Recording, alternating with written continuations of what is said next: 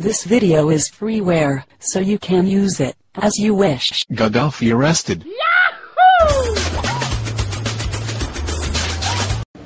از ایران گزارش شده در شهر کوار در استان فارس نیروهای بسیجی و دراویش گنابادی درگیر شدند در جریان این درگیری ها گویا از گاز اشکاور استفاده شده و صدای شلیک گلوله هم شنیده شده شاهدان عینی می‌گویند وضعیت شهر کوار امنیتی است زارا نورانی از دراویش گنابادی در استودیو با ماست. خانم نورانی تشکر از وقتی که در اختیار ما قرار دادین. چه گذشته واقعا در این شهر؟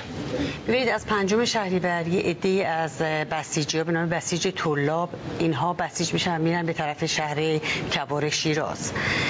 حدود سه هزار نفر اونجا بودن و جمعیت دراویش 150 نفر بودن.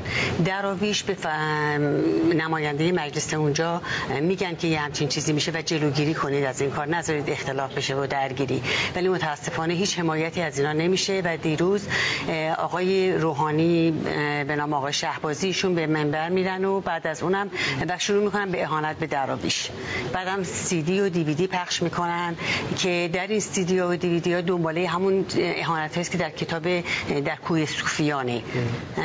بعد دراویش میرن که دفاع کنن و اینا رو بگیرن درگیری بین اینا میشه و تعداد زیادی زخمی میشن. یعنی علاوه بر پخش دیویدی درگیری فیزیکی هم پیش آمده بود. بله دیگه بین دو طرف. ولی خب دراویش که اسلحه ندارن اونا با اسلحه تیراندازی کرده بودن.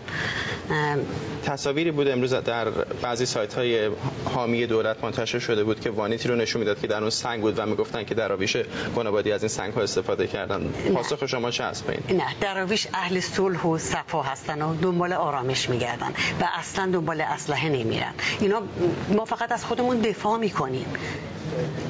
ما نه به کسی حمله می‌کنیم نه اسلحه داریم اصلا وحشت داریم از این حرفها اینا همه چیزایی است که دولت جمهوری اسلامی میگه ممنونم زارا نورانی تشکر در استودیو با See perhaps also.